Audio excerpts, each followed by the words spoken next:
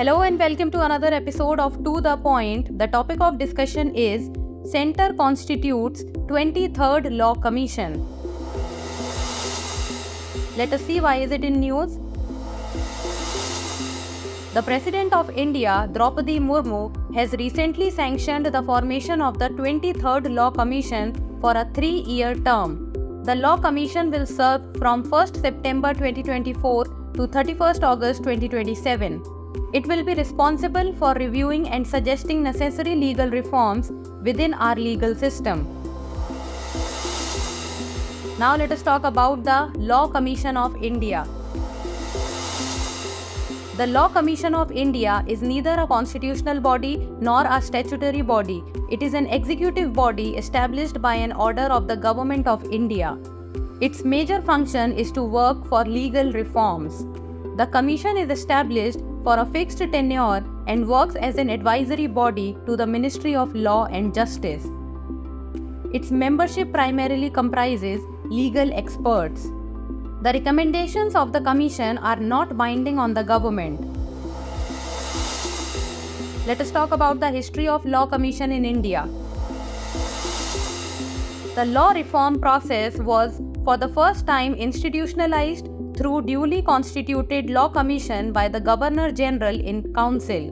During British period, four law commissions were constituted to prepare drafts on different subjects of legislation for codification the first law commission constituting of Lord Thomas Babington Macaulay was the first law member and three other members produced a draft of the Penal Code in 1837. Thereafter, the second, third and fourth law commissions were constituted in 1853, 1861 and 1879 respectively. The Indian Code of Civil Procedure, the Indian Contracts Act, the Indian Evidence Act, the Transfer of Property Act, etc., are products of the labor of the first four law commissions.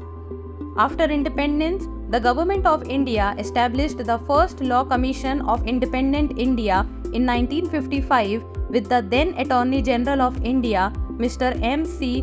Setalvad, as its chairman.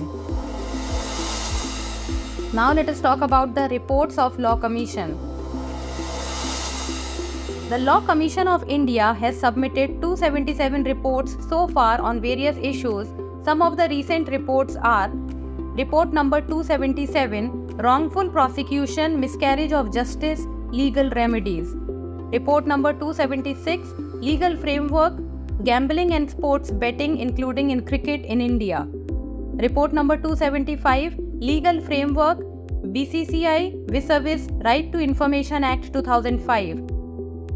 Report number 274 Review of the Contempt of Courts Act 1971. Report number 273 Implementation of the United Nations Convention Against Torture. Report number 272 Assessment of Statutory Frameworks of Tribunals in India. Now let us talk about the terms of reference. The terms of reference include reviewing the system of judicial administration to make it more responsive to the demands of the time. The panel's goals include eliminating delays, simplification of rules of high courts for sake of uniformity and ease of understanding, implementation of a framework for case flow management. Now it's time for the practice question. Consider the following statements about Law Commission.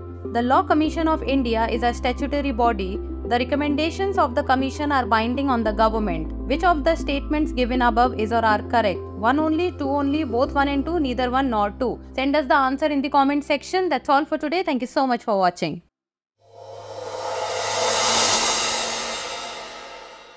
For more informative content, like, share and subscribe and do not forget to press the bell icon to get the notifications.